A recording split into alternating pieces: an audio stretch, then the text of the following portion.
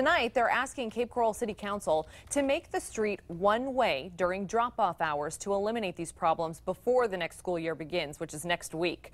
The proposed road, Southwest 36th Terrace, leads right to Pelican Elementary School. That's where we find Four in Your Corner's Tara Molina with all the details. Tara.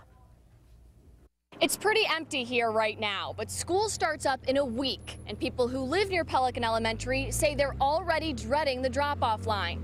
They say it's dangerous, and tonight they're trying to do something about it. Southwest 36 Terrace, right by Pelican Elementary, is usually a peaceful, quiet street. But homeowner Mike Pacelli tells me when parents are dropping off their kids here, it's anything but peaceful and quiet. Right now, it's unsafe. He says it's unsafe for people living here, Pelican Elementary students, and his property. This is the third mailbox in one school year.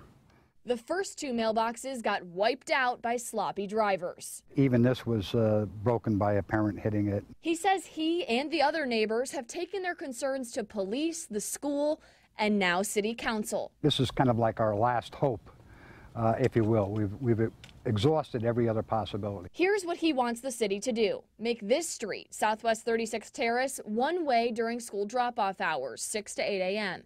That would mean parents would line up in the westbound lane and won't be able to cut through at the entrance.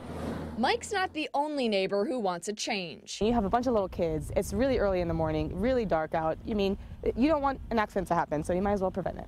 People coming in and out, it's just too much. I took their concerns to City Councilman Richard Leon. He tells me the city's been working with neighbors, and if they don't move forward to make the street one way immediately, City Council will do something to make it safer. Whether it's putting cones out there, whether it's getting police department to be out there and, and, and staff during school hours, we're going to do something. People who live here hope to come to some kind of agreement with the city and the school to make this street safer for everyone.